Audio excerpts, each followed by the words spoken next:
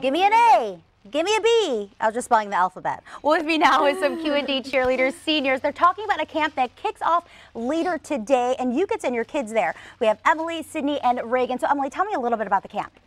Um, at the camp, we teach the kids a big cheer. We teach them a few sidelines. Um, we teach them a dance, and they're going to have a lot of fun. Um, registration starts at 5.15 tonight, and then the camp goes from 6 to 8 every night this week. Perfect. Now, you girls are seniors, so what's it like to be in your last year? You're kind of heading up the camp. What does it feel like to be here? Um, it's fun. It's kind of like it's our turn now. Uh -huh. So we're, we're all excited. And why do you guys think it's so important to get kids involved in cheerleading at a young age? Um, because we want them to be just excited as we are about cheerleading and we want to continue the tradition that we're kind of carrying on now. Perfect. Now, if you want to see these girls perform, they are going to be performing at an upcoming Cardinals game and you still some tickets that you could sell. Yeah. Um, the Cardinals game is August 14th. It's at 7:15 and it's against the San Diego Padres. Um, the tickets are $24 and they're normally 54 so it's a good deal.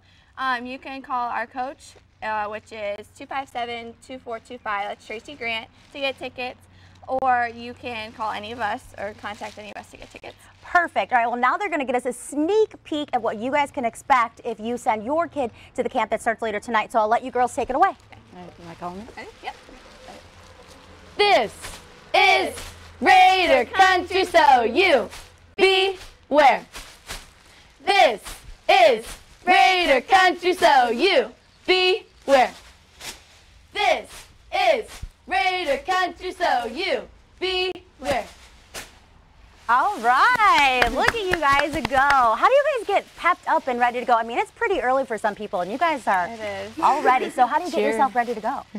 Um, we actually go to camp during the summer, and so we have to get up early. We have to be positive and peppy all the time, so we're just kind of used to it by now. All right, perfect. so one more time, if people want to send their kids to camp, what do they need to do?